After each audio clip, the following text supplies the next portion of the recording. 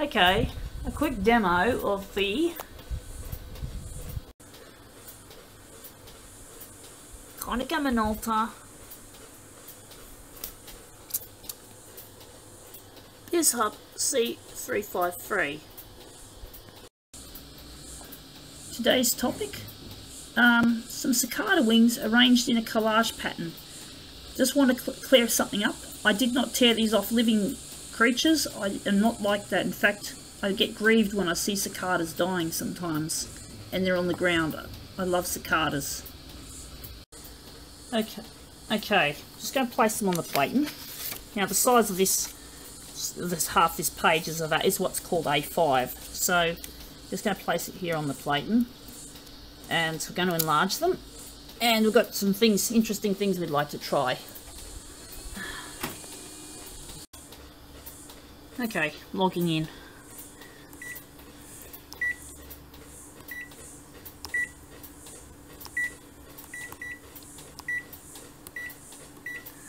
Right, so I'm going to start with autocolor. The only thing with autocolor is, oh, yeah, it'll, it'll, it'll probably copy us. If it's in black and white, it'll basically go to black and white, and if it's color. So that's when, if you want to control, like, well, again, I don't want to explain this. I don't want this to be a big technical um, junket.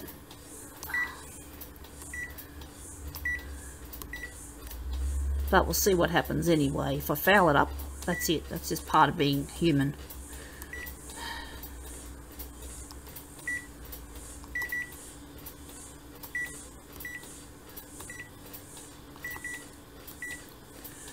And it's always good to see an expert foul things up anyway. Every now and then. It's quite it's quite a laugh.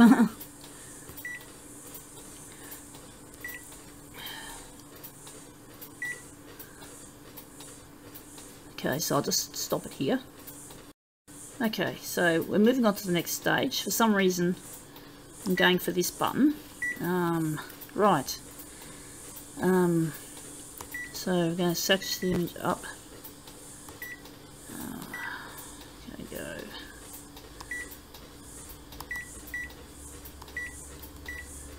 And is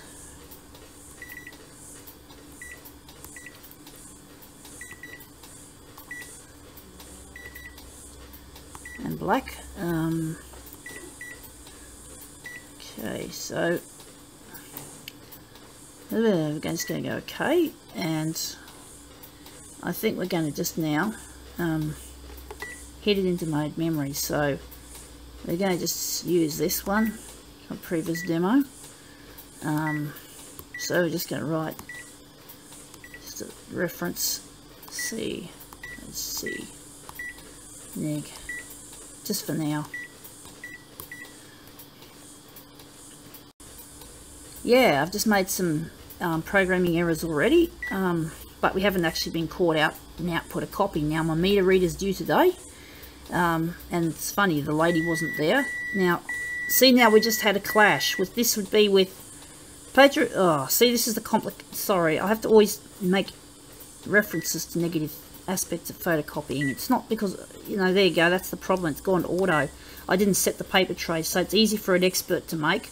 So this manual stuff, uh, you know, I've got to, I've got to talk about this when it happens, because you know, we nerds and geeks have got a bad reputation, or Aspergians, of being too pro equipment, right? But the thing is, um, we, we, love, we love our equipment, but you've got to be crit constructively critical. But I want to show also, you know, the positive side of, of what this equipment can do. It's like a, two sides of the coin, as they say. Um, if you don't have two sides of the coin, well, it's what we call being biased. Um, but, you know, it's something I myself have been learning throughout my life, you know, that it's not just about equipment, you've got to basically then learn to make use of this gift or this talent. And in the case of using a piece of um, commercial equipment like this, well, it goes into the possibility of redesigning it so that other users don't have problems like this. But this demo is going to show what this machine can do, as in the positive things. But as I said, I have to make note of the things that are wrong with this machine all photocopiers might you know miss the miss the mark. Okay, um, Konica Minolta machines I like them. They're really robust, um, solid, but they can be very hard to use and very clunky. But there you can just see taste of what's of what's happening here. Well, I just forgot to enable something, right? So here we are, we've already muffed it. We intercepted it before, but I've just made it, sorry, I'm not good at multitasking. I vowed that I wouldn't talk about what I was doing, but for some reason I've got this need to do it. So it has to be centering, that has to be switched on, and let's see what it does. Uh, I won't bother mode memorying it, but I'll probably regret it. but I'll have to hit it into mode memory anyway, so while the machine's outputting a copy. I'm just going to do a little... No, I can't do that. Now, what's it doing? No, you can. I thought it was clashing with the fact that we're... Okay, and that's just... That's because it's output a copy, I think. So, or was it original on the plate and I'm getting confused myself. So, these things would drive the average office user mad. There's enough stresses in the office as it is without dealing with the copier. so here we go. Again, it's failed. So even I'm struggling with it. Okay, copier to power user none. Okay, see, I just say that this manual, I mean, on, if this had a previous screen like the later BizHubs, well, we'd be different, but this is a bit ambiguous. Now, the only thing I can think of is center zoom.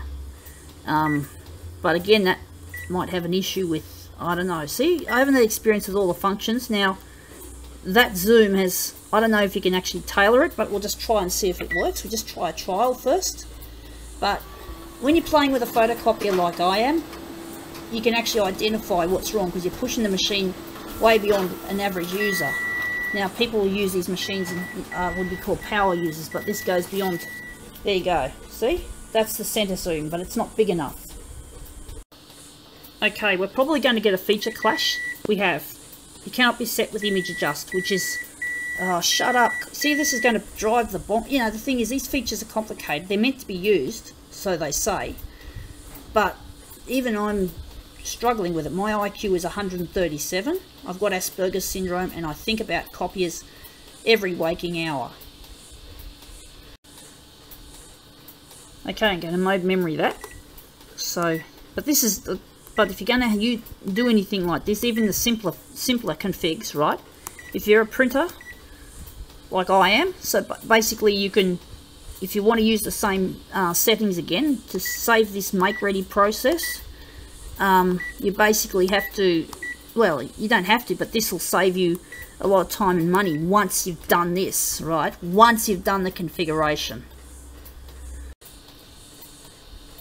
Okay we're not going to bother resizing it. We're just going to keep it as is. Um, I don't want to make this a long demo because people get bored watching big long videos. And it costs a lot of money for those with the data. You know, data connections are not cheap, and my videos often get a little bit long-winded, I'm afraid.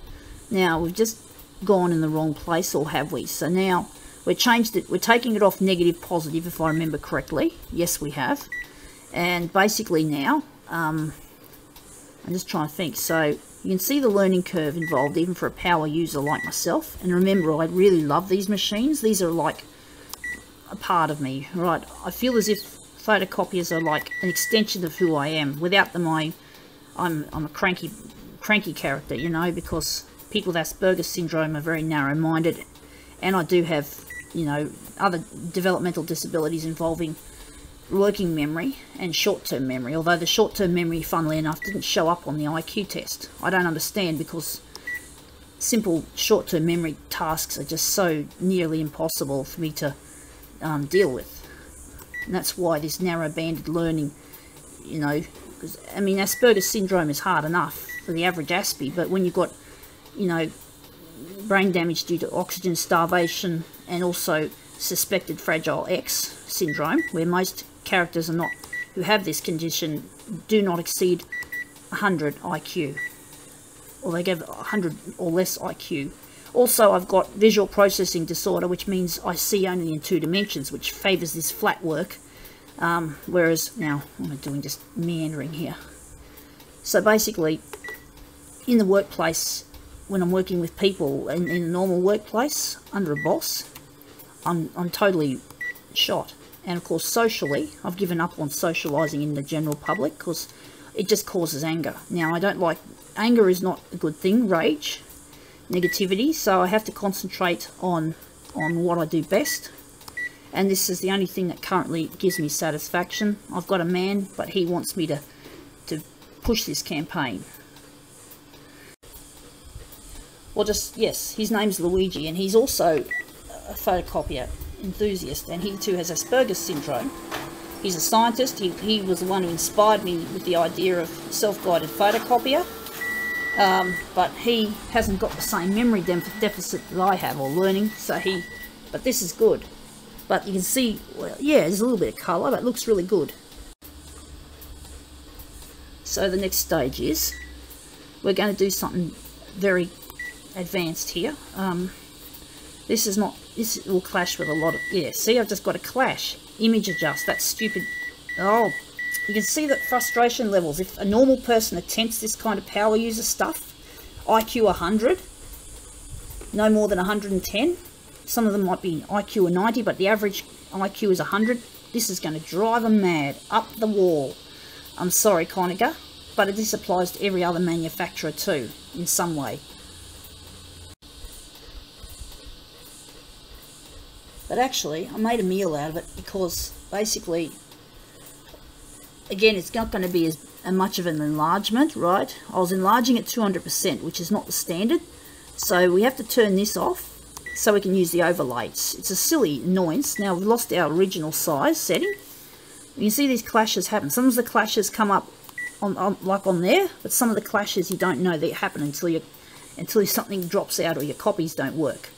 Um, so the next thing we're going to do is we're just going to stick with a standard enlargement or yeah, standard ratio, A4, A, it's the same as A4 to A3, or A, yeah, whatever, I won't go into this technical crap. So now we're just going to, um, we'll then be able to set it up. Now we're not going to get the same kind of layout that we want. Um, to get the layout that I want would just require, here I go, I'm talking and talking and copying, don't go down with my non, well again it's comedy, okay, we're trying to make it a bit more human.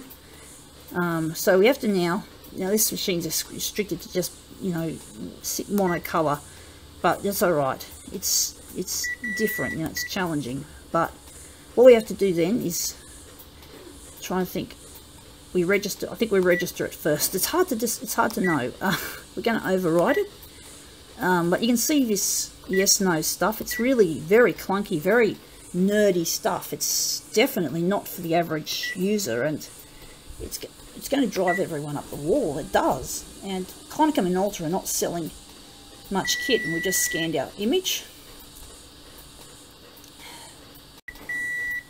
Okay, now the thing was, I did not do what I was going to do and do a test copy, but the test copy, the, the profile we set was good. All we did was change the enlargement and remove that feature that clashed with the overlay. Now I'm just going to try and precisely lay this down, and I'll have to pull this back.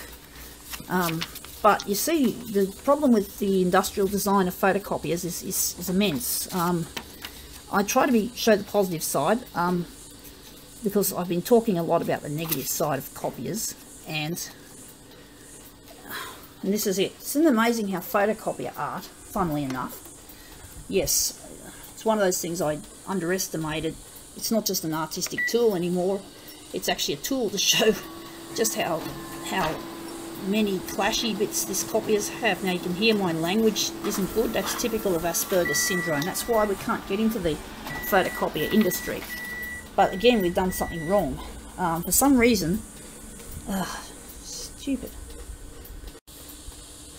Okay, let's imagine that I'm, because I'm not good at multitasking, talking is a distraction for me, right? Now, let's just put it into perspective. I am not under stress, immense stress. All right, I'm very, I'm a very happy sort of person, generally speaking, now because I've discovered that this is me and I'm following it, and I found peace within myself, what I call the X factor, very important, and I found love with a man who's into the same stuff and a purpose for my, my creativity, right? But let's just put into perspective. Now, I am a, I am a terrible multitasker because that's just the way it is, right? I've got Asperger's. That Aspies are like that. Um, but a normal person in the workplace has got another problem. The person in the workplace, scanning it, So we, I think we have to scan first and then we have to register it. Um, but maybe not. We'll try it again. But basically, the person who's in the normal workplace, which is what most, because Aspies don't make it, not many Aspies get into the workplace anyway, um, but normal people, IQ 100, make up the bulk of the workers in all industries. Now, they have to deal with photocopiers more than us. Well, except us hobbyists and whatever, right? But they have to deal with these on a purely um, professional basis. And I've just, I've just switched the original around. So imagine in the office and, oh yes, see, um, so imagine my speech represents office stress for a normal person. A normal person is an incredible multitasking machine. Not in the, I'm not meaning this in a cruel sense, right? This is just illustration. You, you guys are great multitaskers. You can drive a car and talk on a phone, but there you go. That's what we wanted, basically, roughly. But there, see? Overlay. Now, we're going to try a different colour with that. But basically, you can imagine a person who's normal, right, is renowned to being a multitasker. Now, we're going to get a clash, I think. I don't know. But basically, you guys can multitask. You can, without, you know, within limit, within reason, you can drive cars while talking on a mobile phone, but it's definitely not safe. Um, but, but let me tell you something. The amount of stress you feel would, would be higher than the, you know, the pressure I'm sort of feeling now, right? Doing something I like and doing something I'm good at and not having to deal with office politics that you guys have to deal with.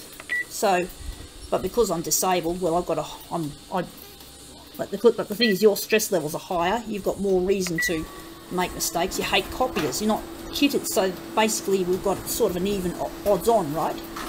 But we imagine that this talking represents, well, office stress. Just a pure, it's not a perfect sim, but it's all we've got. And yeah, so you can imagine I'm making mistakes as I talk, right? Just imagine that this is you in the office trying to get you thinking about a whole bunch of things while you're photocopying. It's, it's absolutely going to drive you nuts. So yeah, that, that's probably, it's not, it's not easy to, to quantify, but you can almost imagine that, that this, this could represent what a, simu a rough simulation of what office stress you guys are going under while you're on the job. And it's a terrible thing to have to deal with. Um, to think you have to wrangle a photocopier. Yeah. So now let's just get into doing something. I've got to try not to talk now because this demo is probably going to go a bit long. But you've just seen um, how much difficulty, why Konica put these features in when most people don't use them. But if they try to use them, especially with that much throwing together that many features, you get clashes and yeah, you just saw it you know, say no more. So now changing original types is an interesting difficulty as well. Um, but you can see the, the application now of this creative function that I have and this passion that I have, which, you know, few people have. Now Luigi is not on this, is not on par with this kind of photocopier manipulation that I am. And we've dropped out the colour balance for some reason. I'm trying to think where that happened. That might have happened on the single colour so you can see that these things will just catch you unawares. And if you've only got an IQ of 100, as opposed to 137, which I was clocked at, well, I'm sorry. The company, you know, the, the industry has produced, you know, again, you know, they're not easy to design. I've got to put that into perspective, you know. But the thing is, they are. They're annoying the average user, who are the, the ones who typically haven't got Asperger's or the high IQ or the or the task orientation that I've got. Um, Luigi doesn't have the same ability that I have to to use it. So it shows that everyone has a place, you know, in the workplace. Everyone's got different gifts that should be exchanged, but it seems as if, you know, everyone has to be social these days. I hear it reverberating around suburbia, father included and it really drives me nuts hearing it so I don't talk to people much anymore unless I have to and if I talk like a business person right it's just illustrate that we Aspies are designed for work. Well and I talked about this concept of the self-guided photocopier in a way that's business-like. Well I get a positive response but it's not good enough. Um, but I can't fight the status quo.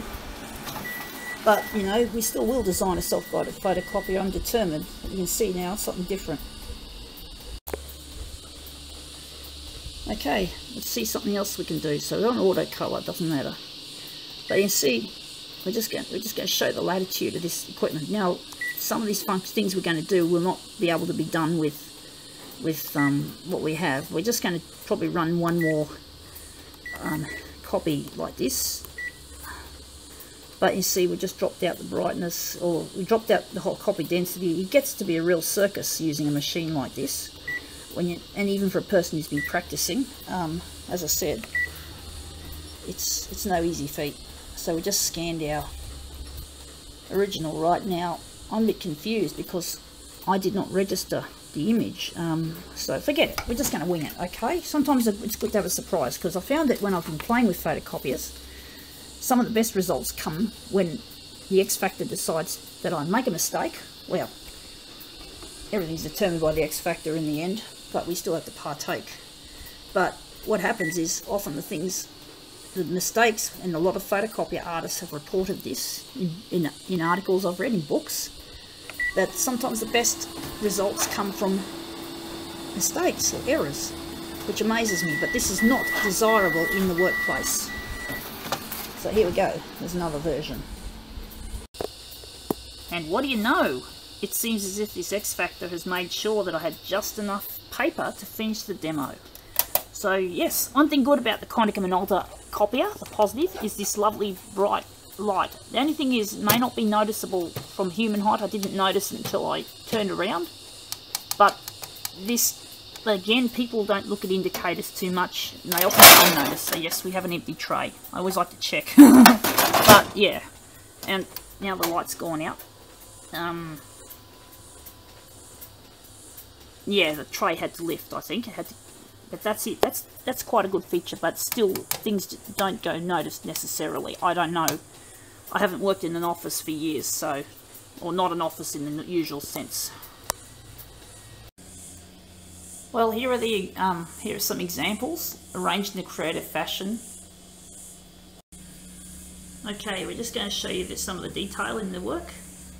Now, while these are make-readies, or, or some of them were, were not quite what I wanted, the thing is I don't like throwing out my spoils because as a creative artist, they can be cut up with a scalpel and made into what's called a collage. Now, not many collage artists have been using photocopiers, which is surprising because of the way you can replicate and you don't have to wait, you know, cut up originals, but they seem to love cutting up originals. And here's that other overlay that in the middle. Again, just show you the detail. But yeah, I'm surprised at colour, but maybe it's the user unfriendliness of machinery that drives collage artists away. And here's another possibility.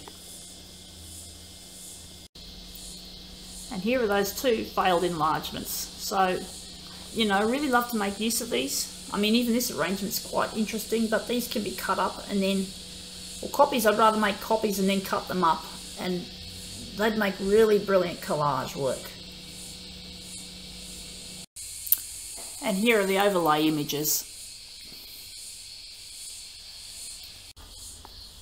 And here's a more detailed aspect here, but you know, it's amazing what you can do with a photocopier, but even for an artistic power user like myself, probably one of the best in the world, for all I know. Um, well, even I struggled. And the thing is, you know, self-guided photocopier will work on the principle they'll have artificial intelligence. There are technologies available which are basically in their infancy, um, such as um, brain-machine interfaces capable of sampling human brains and copying onto silicon chips, believe it or not. Um, quantum computers, and basically self-guided photocopier will, will be able to you'll be able to tell it to, what to do basically as if you're talking to me because I want to be the subject that gets sampled I've got the, the kind of cerebral architecture and psychology engine that uh, artificial intelligence demands. And yeah so basically yeah I think we'll call it that